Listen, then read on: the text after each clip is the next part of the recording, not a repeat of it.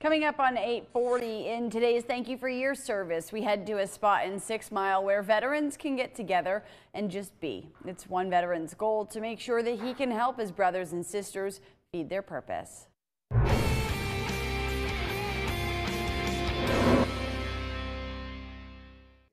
Down a windy road off the grid in central South Carolina, you'll find the Semper Fi barn. And there you'll probably meet some veterans. One is Tom Von Canel. I went to West Point. And then after that, uh, graduated in 77 uh, to be commissioned as a second lieutenant in the, in the infantry, and I thought I'd follow in my dad's footsteps. He was in World War II in Korea. The barn is located on his property. Von Canel named the barn the Semper Fi Barn because he says it was a group of Marines who helped bring the idea to life. Semper Fidelis means always faithful, and Von Canel says the name was a great way to remind vets they were always cared for and thought about. But Von Canel isn't a Marine, instead, a 20 year Army veteran in infantry.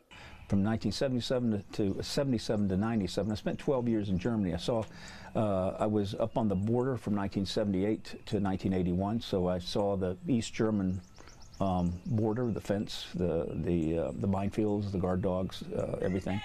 Uh, I was there when um, they declared martial law in Poland. I was there when uh, Russia invaded Afghanistan.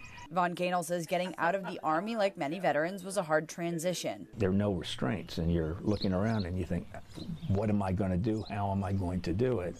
And uh, how do I find my, we call it find my tribe, how do we find our social networks, which was really a, a, struggle for me for a long time. And that's how the barn was born. Then after a while I was able to find my uh, true purpose in life, and my purpose in life is this barn.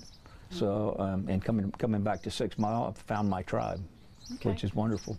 Von Canel says the purpose of the barn is for veterans and their friends and families to relax, remember, and restore themselves. There's no person that can't that can understand a better uh, a veteran better than another veteran. Von Canel says his goals for the barn are endless and his dreams are limitless. The barn will outlast us. I envision this five, six acres being a, uh, a, compound or a collection of buildings, workshops where people can come.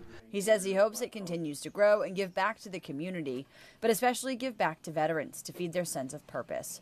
Tom Von Canel, thank you for your service.